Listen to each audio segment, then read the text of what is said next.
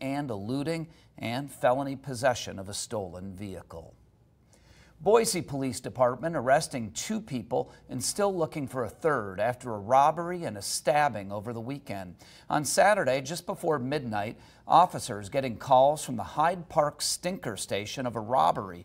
After investigating, they said these two are part of a group that stole alcohol, pointed a gun at witnesses, and ran off.